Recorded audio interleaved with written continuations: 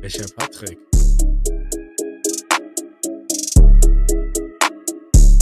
Den ersten Teil von Leos 100k Closet Tour reinsliden. Leo, Negative Trade. Ich glaube, viele von Ihnen kennen ihn. Hat ein neues Video rausgehauen. Ich glaube, Leo ist einer derjenigen in Deutschland, der die verrückteste ja, Kleidersammlung am Start hat.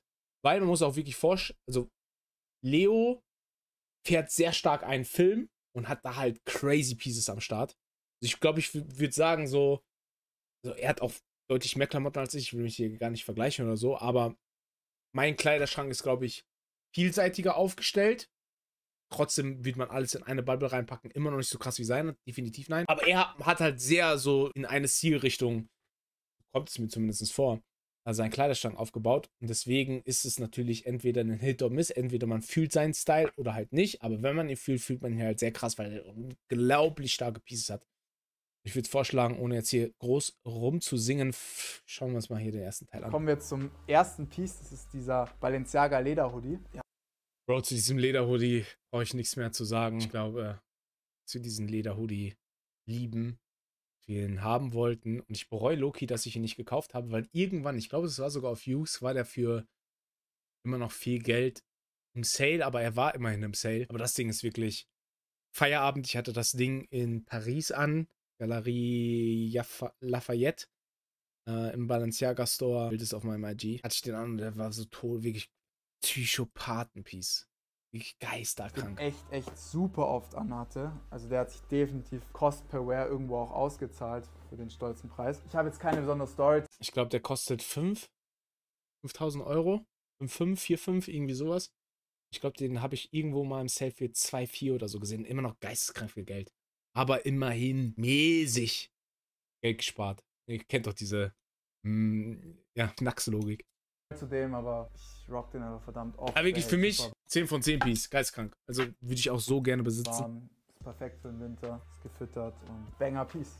Das ist somit die perfekte Winterjacke. Wir haben hier die Y-Project Oversized Padded Shelling Denim. Die habe ich ja schon letztes Mal. Guck, er ist auch so ein Typ, er kennt von jedem Piece den Namen oder so, so. Bro, Hammer Business. Ich sag euch ehrlich, plus ich bin halt wirklich schlecht mit Namen, deswegen. Hält dich den ganzen Winter eigentlich warm. Und die hat Ja, finde find ich cool, aber ist eine coole Jacke, doch. Einen krassen emotionalen Wert, weil ich die von meiner Freundin bekommen habe. Deswegen liebe ich die Jacke auch. Und Zucker. Ja, kommen wir zur nächsten Jacke. Wir haben hier eine Per Göttesen Jacke. Die habe ich damals direkt bei Per geordert. Hatte ich tatsächlich kein einziges Mal an. So war Ja, ist auch eine schwierige dann Jacke. doch nicht so meins. Bisschen zu furry. Dann habe ich sie zu meinem Bro Cedric gegeben. Äh, krasse Jacke, so, aber das ist halt auch wieder der Punkt. Du brauchst halt auch schon Sachen, die du irgendwie im Alltag rocken kannst. Klar, wenn du dann eine gewisse Sammlung hast, dann kannst du dich auch mal so austoben. Zum Beispiel meine verrückte Rick-Weste. Bro, die ziehe ich auch nicht jeden Tag an. Aber wenn du die pulst, so, dann pulst du sie halt bewusst. Aber in der Regel kommt es halt ey, auch so auf diese Alltagstauglichkeit an, damit du deine Cosplay-Wear halt irgendwie rausholst. Deswegen, ich würde, wenn ich vielleicht am Anfang bin, erstmal wirklich mich, mich so auf die Basics oder auf ich meine, so mehr so alltagstaugliche Sachen rein fokussieren. Plus, deine Grenze wird auch immer mehr rausgepusht. Also, wenn ich jetzt sage, mein Alltagsfit, das wäre vor fünf Jahren wahrscheinlich noch so für mich so voll crazy gewesen. Garments irgendwie keiner gekauft und der hat sie mir jetzt zurückgegeben. Also, falls jemand will, here you go. Aber ja, ich dachte, ich zeige dir auch mal kurz. So, das hier ist der Scarf Parker von Kiko. Den habe ich tatsächlich von Jokes geholt. Der war heute den ganzen Tag drüber geredet. Da einfach mal random da. Ist ja eine ältere Season, da habe ich zugeschnappt. Checkt immer Jokes, da gibt es manchmal krasse Deals. Hatte den tatsächlich auch noch nicht wirklich an, aber habe jetzt mir auf jeden Fall vorgenommen, den. Ja, ist auch nicht, ist auch nicht, nicht meins. Fashion Hot Take an der, an der Stelle. Und ich, ich, ich muss das jetzt leider hier an der Stelle so sagen, auch wenn ich überspitze das jetzt Ganze mal ein bisschen, aber Kiko für mich ein bisschen overrated. Also klar, er hat schon geisteskranke Sachen und ich weiß, so, das ist so für viele so das Nonplusultra und die diven da vollkommen rein. Ja, der hat wirklich auch, also es gibt krasse Kiko-Pieces, aber es gibt auch viel, wo ich mir denke, so, Bro, ich könnte da nichts mit anfangen. Und das ist so einer dieser Pieces. So, das ist der schöne Nolan Parker von Kiko. Den habt ihr wahrscheinlich auch schon in einem unserer Videos vielleicht gesehen. Den habe ich tatsächlich sogar zweimal. Story dazu, ich habe den so lange gesucht. Der ist nie auf den Markt gekommen. Dann habe ich einfach meine falsche Size gekauft. So, und der ist halt viel zu groß, deswegen gebe ich den in der 50 ab. Habe dann die 46 auch für einen guten Preis gefunden. Super nices Piece. Eins der besondersten, eins der unique. Das ist schon wieder ein Also die Jacke ist Baba. Schnitte so. Also das Pattern Making ist crazy und that's it. Wenn wir von Jacken sprechen, die ich schon öfters besessen habe, ist hier die nächste Jacke, das ist die Rock, auch Kiko. Die hatte ich tatsächlich auch über Jux noch zweimal gekauft, obwohl ich sie schon einmal hatte. Ähm, dann an einen Bro verkauft, die andere auch verkauft. Ist auch was, was ich jetzt nicht. Auch so eine Jacke, Bro. Ich, ich will die nicht anziehen, Bro. Ich will diese Jacke nicht anziehen. Oft getragen. Also, keine Ahnung, es ist wahrscheinlich nicht meine Stilistik oder will mir nicht stehen, was auch immer, aber bevor ich mir sowas äh, so rein digge, finde ich zum Beispiel CCP viel krasser. Kommen wir zu einem sehr underrateden Designer. Wir haben hier die Maximilian Davis Jacket. Die habe ich von meinem Bro, den Inhibitionist, gekoppt. Also Shoutout an Daryl. Ja, ich finde die halt super unique vom Fabric. Ganz viele Riris, Zipper, also sehr hochwertig. Gerade ja, so ein Red Carpet Piece. Für so einen jungen Designer echt insane. Und der Dude ist ja mittlerweile bei Ferragamo so. Rasiert da eigentlich auch. Ich finde allein durch das Fabric ist die Jacke schon krass. So eine simple Workwear-Jacket mit einem einfach simplen Schnitt, aber das Fabric macht halt den Unterschied und sehr cooles Piece. So, dann zum nächsten underrated Designer. Wir haben hier eine super nice Cosaburo. Die Jacke ist so geistesgestört. Jacket. Auch das Fabric ist insane. Wir haben so eine ja. Leinenmischung mit einer richtig. Die ich mal bei einem Kollegen gesehen, mit dem fast abgekauft. Nice Textur. Leider hatte ich die auch nicht so oft an, wie ich es mir erhofft habe. Deswegen, sie ist for sale. Wer die will, schreibt mir einfach. Nein, wir kaufen sie nicht. So, weiter mit den Hosen. Ich starte mit der unbeliebtesten Hose, The Most Hated, die Balenciaga Bodycon, die Zara-Hose. Werdet ihr heute noch ein zweites Mal sehen. Das ist die Acne Denim. Ich hatte die gerade noch vorher an, deswegen auch noch offen. Hab mein Geldbeutel noch drin. Da sieht man schon, das ist so die Everyday-Hose. Ich wurde schon so oft auf die angesprochen. Oder ja, aber die hat eine coole Waschung. Die ist so einfach zu pullen, und du hast trotzdem eine coole Hose an. Auf Instagram. Verstehe ich schon. Was ist das für eine Denim? Das ist auf jeden Fall Acne, die ist von 2021, da habe ich sie im Store gekauft. Die hat halt diesen perfekten Flare-Cut. Die gibt es so nicht mehr. Es gibt ähnliche Hosen bei Acne und wenn ihr eine Acne-Denim braucht, kauft ihr am besten im Sale. Acne macht geisteskranke Denims und der Wash. Crazy. Das ist die erste Kiko-Hose, die ich euch heute zeige. Einer meiner ältesten, das ist die Klee Icon. Kennt man auch. Iconic Hose, sag ich mal, von Kiko. Da viele kennen die. Fabric krass. Die war auch wegweisend. Viele so Insta-Brands, die so Kiko ein bisschen copien. Hatte ich bei vielen Stylings früher an. Ist mittlerweile leider ein bisschen groß geworden. Bin ein bisschen schlanker geworden. War damals schon ein bisschen groß, immer mit Belt getragen. Und ja, wenn jemand von euch Bock auf die hat, ich wäre bereit, schweren Herzens die abzugeben. Der mich einfach. Ist eine Size 50. So, das ist jetzt die erste beliebte, sag ich mal, Balenciaga-Hose, die wir zeigen. beliebte, auch geistkranke Hose. Wir haben hier die äh, Flared Cargo aus. Das ist einfach eine Flared Cargo in schwarz, die aber Details hat. Der Vollwinter 23, wie schon in einem LPU gesagt, das ist ein geisteskranker Schnitt. Ich liebe die Hose. Ripstop, Rich the Kid hatte die jetzt auch an in Florenz äh, und in Mailand beim Styling. Einziges Manko bei der Hose ist tatsächlich nur der Preis. Also der Retailpreis ist absurd für so eine Hose. Aber man kriegt auf jeden Fall schon was für sein Geld. Man zahlt halt viel fürs Design, für den Cut. Und dafür ist ja Balenciaga dafür. Nicht perfekte Everyday Pieces so. Dann kommen wir zu der perfekten Everyday Lederhose. das ist zum Beispiel so ein Kiko-Piece, da will ich mich drin sehen. Wo ich sage so, yo, Okay, Kiko aber Poseidon auf Ria Ventilation äh, Leather Pants. Ich trage die super gern. Was ich bei der wirklich auch perfekt finde, wie bei der Balenciaga, ist der Schnitt. Ich finde die Länge super für eine Lederhose. Sie schleift nicht am Boden. Du hast dieses leicht flairte, dieses nice Detail hier. Ja, ich habe die auf jeden Fall auch für einen sehr guten Preis geschossen. Ja, aber Kiko Echtleder, oh, will ich gar nicht wissen, was die kostet, Retail. Powder und Essence, bei Kiko immer Stilhunter sein, weil die Preise mittlerweile auch von Retail sehr, sehr hoch sind. Zur nächsten Kiko-Hose, die auch krasse Memories so für mich hat. Da haben wir einen crazy Fit-Pick damals geschossen. Ich, ich nenne den Fit immer noch den Piraten-Fit, den hat auch Kiko damals gerepostet. Wir haben hier die Lens-Trouser. Auch krasse Hose. Die ist mittlerweile... Also mal auch, auch eine verrückte Länge, nicht so dieses stackende Vibe, sondern mal so ein bisschen auf Dreiviertelhose angelehnt, kann man cool, so wie er es getragen hat mit, mit so äh, Mules oder Sandalen anziehen. Kannst du aber auch easy, cool mit vielleicht Boots anziehen. Echt Ding. rare geworden. Ist halt auch eine ältere Season von Kiko. Das Fabric insane. Also es knittert eigentlich gar nicht. Dieser Flap super nice und die Länge ist super unique. Ich glaube, so eine Hose hat. Kiko mal. Kiko, Kiko Pieces sind auch so Pieces, die kannst du schlecht über so Videos und, und so verstehen. Bro, zum Beispiel, wir waren mal irgendwo, war das in München auch? in so einem Store und du siehst, kennst Kiko Pieces über das Internet, bla bla, und waren da sogar im Sale Kiko Pieces und dann zieht man die so an und dann verstehst du die erst.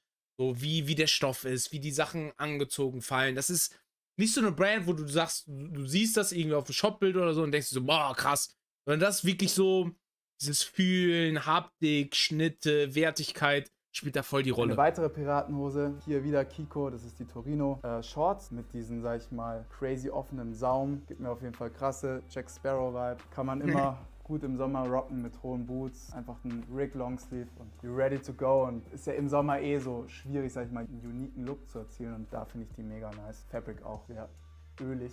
Ja, kurze Hosen sind immer schwierig. Die Kommt schon gut von der Seite. Dann eine weitere Kiko Shorts. Wir haben hier die. Bro, der, der Typ hat Kiko auseinandergenommen, Bro. Wird heute auch noch öfters vorkommen. In Navy aus einem super nice Fabric, so eine viskose Mischung. Wir haben hier die Kordeln, diesen Dreiviertelschnitt, finde ich perfekt eigentlich so zu Boots. Und die hatte ich auch in Antwerpen an, damals bei dem Pop-Up von den Jungs. 65 Garments, Runway Garments etc. War eine geile Zeit in Antwerpen und die erinnert mich da immer dran. Und ja, deswegen sehr, sehr stabiles Piece. Zur einzigen Rick Owens Hose hier. Krass eigentlich, dass ich nur noch eine habe. Wir haben hier die Geff in Leder und das ist für mich auch so ein perfekter Schnitt. Die Geff, glaube ich, mittlerweile super popular in der Fashion-Szene. Die Ledervariante sieht man tatsächlich selten. Ich weiß, Patrick hat die auch, sonst keine Ahnung, wer die jetzt noch hat. Das einzige Manko bei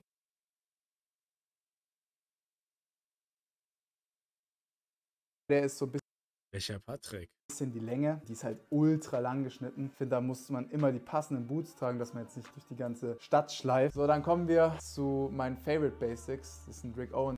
Äh, zu diesen Rick-Oberteilen habe ich ja schon tausendmal was gesagt. Ich bin für, zu klein für den Quatsch und zu fett. Ähm, so die, gerade diese lang geschnittenen Rick-Sachen, so ist halt bei Leuten, die jetzt nicht die größten sind, schnell sehr schwierig. Ich sage nicht, dass man das nicht rocken kann oder nicht rocken soll oder was auch immer. Aber es ist halt deutlich schwerer und Leo ist schon ein großer Bursche. Er kann sowas tragen und da feiere ich es auch voll. Aber bei mir so, keine Ahnung. Damit mache ich mich noch kleiner, als ich sowieso schon bin. Anliegend am Körper, was ich sehr mag und hält sich eigentlich perfekt für den Winter. Ich habe es auch echt viel gerockt. Es hat schon so ein kleines Loch und alles. Ich liebe die. Ich mag auch die Länge. Ich glaube, viele mögen die Länge nicht, aber passt mir eigentlich perfekt und ja, ist so ein Everyday-Piece. Dann eins meiner Classics, also ich sage jetzt schon so Favorite Piece von Basics. Wir haben hier einen Rick Owens Longsleeve. Ich zeige euch jetzt nicht alle. Ich habe, glaube ich, insgesamt acht Stück von denen gekauft. ich habe acht. Auch immer schön im Sale. Ich liebe den Stoff. Ich mag eigentlich alles an denen. Ich trage die echt everyday, so neben den T-Shirts von Yara. Bro, guck mal nochmal. Leo ist geisteskrank. Leo ist geisteskrank. Der, der macht das mit Kopf.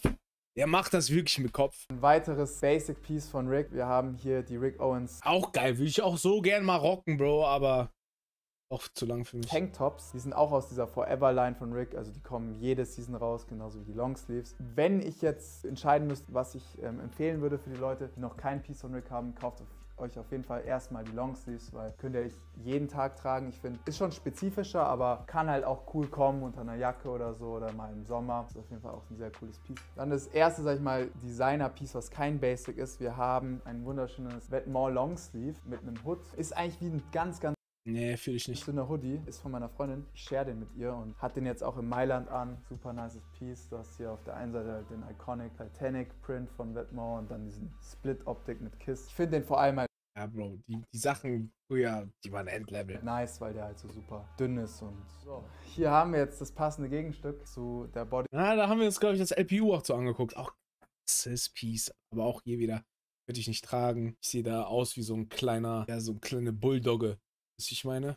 Es können halt mehr so große, schlanke Burschen tragen und nicht kleinere, breitere. Hose. Auch so von den Schultern breit, meine ich jetzt. Ne? Nicht, ich rede nicht von Fett, sondern wirklich auch die so bisschen kantiger sind. Wir haben hier den Bodycon Sweater mit diesen Rounded Shoulder Pads. Super nices Piece, hatte ich auch echt noch nicht viel an. Vielleicht auch Grund, weil ich den Ende Oktober, glaube ich, gekauft habe. Und da wurde es einfach viel zu kalt. Also ich habe es versucht, mit denen rauszugehen. Ist keine Empfehlung an der Stelle. Aber jetzt, wenn die wärmeren Tage kommen, will ich es auf jeden Fall auch im Full Look mit den Biker Boots rocken. Und ja, wie schon gesagt, der Full Look ist einfach krass. Und deswegen ist es so der Kaufgrund gewesen. Und ich freue mich darauf, das zu rocken. So, jetzt kommen wir zu einem Special Piece. Das habt ihr auch schon im APU gesehen. Das ist der Double Sleeve Knit Geisteskrank. Von Balenciaga, AV20. Hab ja auch schon viel drüber gesprochen, hatte den echt viel in Paris an, hab da die Memories zur Fashion Week. Bro, das Ding, das, das, das sind so Pieces, so, Bro, wenn du die pulst, du kriegst halt eine Eule nach dem anderen.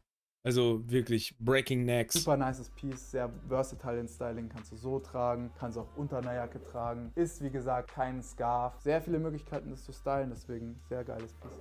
Kommen wir zur nächsten Kategorie, nämlich den Accessories. Zum ersten Accessory, wir haben den Oversized Belt von der Mud Season von Balenci. Den hatte auch Cardi an. Insanes Piece, gerade so im Outfit noch Einfach so ein, so ein Gewichthebergürtel. Ich habe meinen irgendwo auch noch hier irgendwo rumfliegen. mal den gewissen Touch zu geben für Styling. Ja, es, es ist, ein, ist ein cooles, also auch wieder nix für den Alltag, aber so wenn du, wenn du den Fit dafür hast, kommt der schon krass. super nice. Auch wenn sich das komplett dumm anhört. Ja, ich hatte den auch in Wien an. Der ist ein oder das andere Mal auch von der Hose runtergerutscht. Eins meiner Favorite Pieces von Balenciaga.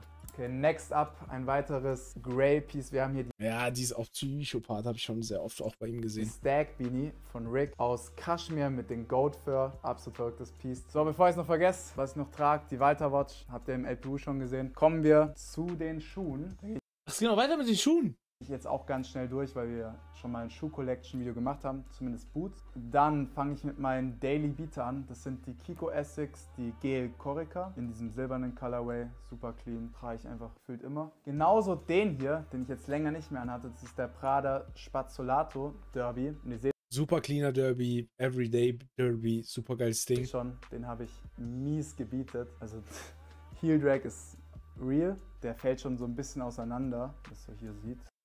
Umso besser so, äh, kriegt das ganze Ding auch nochmal ein bisschen Charakter rein. Auf jeden Fall krass. Aber ja, auch ein Schuh, den ich eine Zeit lang sehr, sehr gefühlt habe und viele Erinnerungen habe. Ja, und dann ein weiterer, die Rick Stocks Legend. Ah, also diesen Birkenstocks tue ich mich ja immer noch schwer, ne? Ist einfach nicht so meins. So, egal ob die von Rick sind oder normal. Ich meine, für zu, zu Hause so bist. Zu Hause. Okay, kann man machen. Also dieses wirklich so auf Ernst damit rumlaufen. Not me, not me. Glaube, jeder Aber sind auch cool, so ich kann die appreciaten, so, okay? don't get me wrong. Ich würde auch nicht sagen, dass ich die niemals anziehen würde. Ich würde nicht sagen, dass ich die niemals anziehen würde. Aber ich weiß, wenn ich die hätte, wie ich die nicht oft anziehen und deswegen hole ich sie mir nicht. Die sind ja auch crazy im Wert gestiegen. Perfekt für den Sommer. Deswegen hat es die auch länger nicht mehr an. Dann haben wir die neue Errungenschaft. Das sind die Die Geisteskrank. Bunny Boots, die Solace Bunny Boots, wollte ich schon immer haben. Ich finde die fast genauso krass wie die Ravs. Ich glaube, die Ravs haben noch mal so einen emotionaleren Wert, aber crazy Schuh auch. Wir hatten auch Bunny Boosts fürs ADR-Shooting und die sind so verrückt, Bro. Da bin ich geistkrank. Ihr wisst ja, ich liebe Bikey Schuhe. Dann haben wir hier passendes Pendant, noch die Auch, auch gerade noch drüber geredet. Absolut krasser Schuh. Auch den hatten wir fürs ADR-Shooting.